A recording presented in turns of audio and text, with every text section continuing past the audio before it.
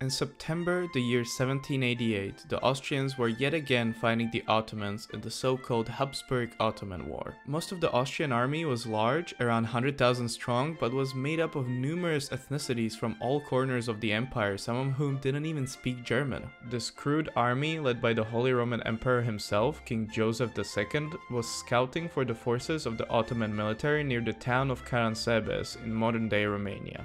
As the day was coming to an end, the army decided to set up a camp near the town next to the Timis River. The army's vanguard, a contingent of hussars, continued to scout for the Ottomans and crossed the river, however found nothing more than some group of Roma people or Wallachians offering to sell barrels of schnapps, liquor, to the soldiers. Naturally, the soldiers took the deal and got to drinking right away, seemingly forgetting their purpose there in the first place. Shortly after, some of the infantry crossed the river as well, only to find a drunk of hussars partying. The infantry wanted to join in and demanded some of the barrels of alcohol for themselves, but the hussars refused as they were the ones who bought it and also were of higher status than a meager infantryman. Soon a scuffle broke out and the drunk hussars made up makeshift defenses around the barrels. Suddenly in the confusion a shot was fired by someone and the drunken scuffle turned into an all-out fight. During the battle, some of the infantry started to yell Turci, Turci, meaning Turks or Ottomans. The drunk and confused hussars fled in fear of an Ottoman attack, with the infantry being quick to follow, all while still attacking each other. The situation was made even worse when Austrian officers, made aware of the problem, tried to restore order by yelling Halt!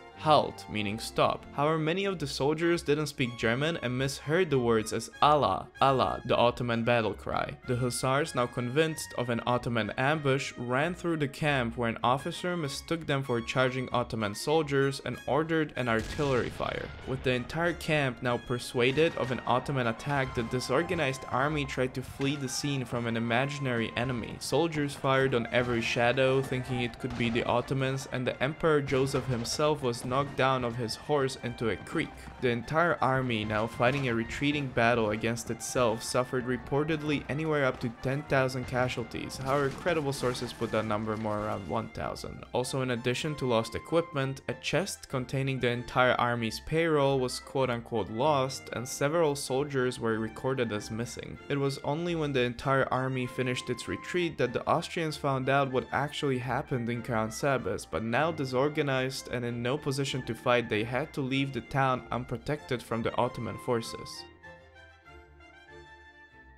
Now, there are many secondhand sources and people who know better than to start a pointless argument in the comment section that will argue that such a battle of Caransebeș never happened and that's not entirely true. So let's look at the facts we know for sure. We know that at one point during the war the Austrian army was in Caransebeș or the surrounding area. We also know that this positioning makes strategical sense as Caransebeș is an important valley protecting the road towards the Hungarian plain. On top of that we know that the Were aware of some kind of a confusion within the Austrian army during September and used this to their advantage forcing a blockade of the upper Danube. So looking at these facts, it makes no sense for the Austrian military to have withdrawn from such a strategically important place giving the Ottomans an upper hand if something major like the disastrous battle of Karansebes didn't happen. Thus we know something have had to have happened for the Austrians to withdraw from Karansebes, And we do know something happened because few days after at the start of October there was an article about it in Real Zeitung.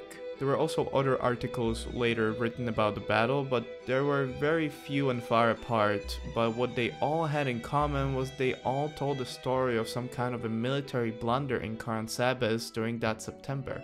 Now, did the actual battle happen exactly as I presented it at the start of this video? No, it did not. The story changed over time due to exaggerations by soldiers, fabrication by rival countries to Austria, multiple retellings, and sometimes just bad research. However, as I mentioned before, a true military blunder did happen in Caransebeș, but how it exactly happened and to what extent it happened, we may most likely never know.